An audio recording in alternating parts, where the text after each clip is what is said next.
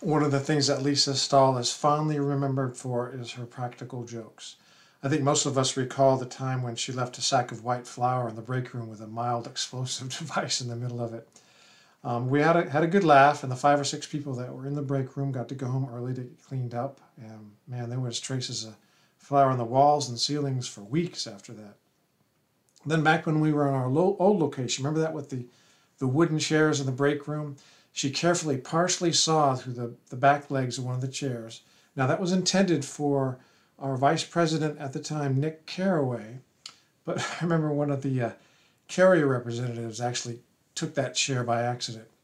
And he did recover from his injuries, and he never, um, um, he saw the humor in it. Uh, our relationship with the carrier was unscathed. That was that was great.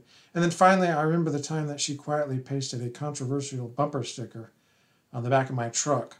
Man, I was never so popular on that ride home that day. There was a mixture of thumbs up and then um, some more negative gestures, but um, um, that was quite a surprise. Now, of course, I'm jesting. None of this actually happened, but Lisa Stahl is still known for her practical jokes. So if you have a chance, ask her about some of them, or better yet, find out who some of her victims were and ask them.